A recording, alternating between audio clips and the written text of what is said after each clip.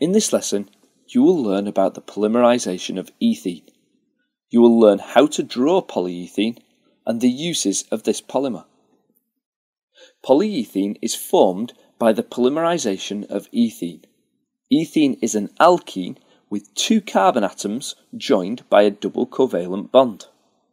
Polymerization occurs when this double bond breaks at a temperature of around 200 degrees C and a very high pressure of 2000 atmospheres. When the double bond breaks, adjacent molecules link together to form very long molecules of this repeating unit. The repeating unit was known as the monomer. So, for example, in polyethene, the monomer is ethene. As you can imagine, using different monomers creates different polymers, with different repeat units along the chain and therefore different properties. We also have videos explaining the polymerization of propene and chloroethene. To write an equation for the polymerization of ethene, you should first start with the reactant ethene.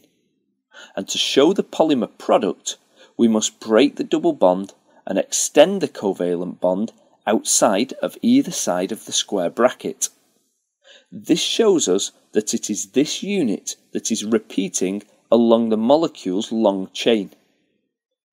Since the number of molecules that can join together to make up the polymer can vary, we use n to represent the number of repeat units.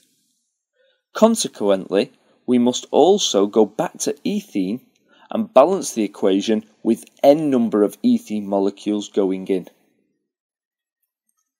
This type of polymer is called an addition polymer.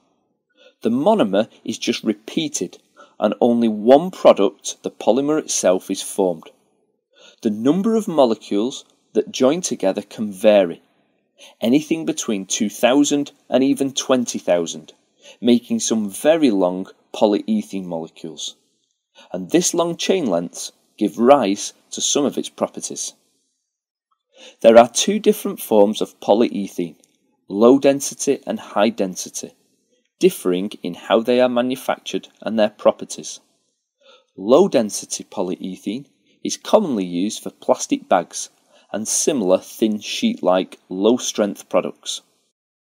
High density polyethene, often referred to as HDPE, is stronger and has a higher boiling point. It has many uses, some of which include plastic bottles, chemical and water pipes, food storage containers, and even folding chairs and tables.